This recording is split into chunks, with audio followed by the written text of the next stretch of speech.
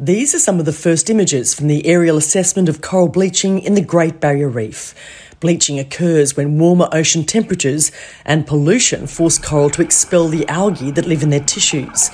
The algae give the coral their range of colours. Scientists have declared 2024 a mass bleaching event.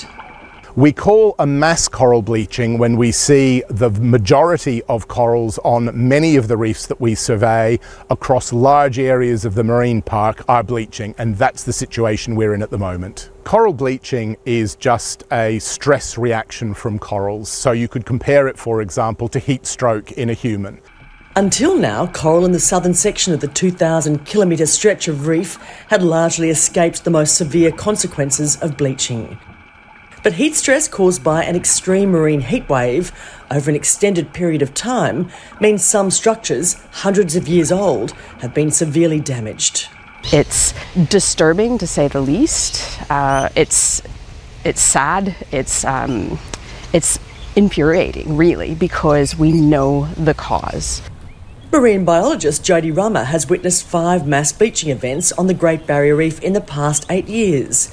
She says ocean temperatures are increasing at a rate never seen before, and that's an ominous sign for the biggest coral system in the world. We're seeing this back to back, year upon year.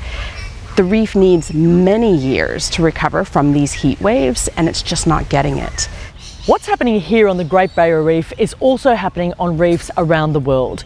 Over the last 12 months, warming sea surface temperatures have caused bleaching events in the Northern Hemisphere, and the El Nino conditions in the Pacific have amplified the situation. Scientists say widespread bleaching in both the Northern and Southern Hemisphere puts the world on the cusp of a global bleaching event.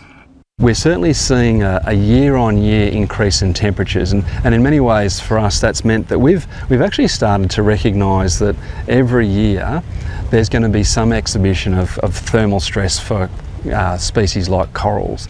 UNESCO's World Heritage Committee will decide if the Great Barrier Reef should be listed as in danger when it meets in New Delhi in July. Sarah Clarke, Al Jazeera, Townsville.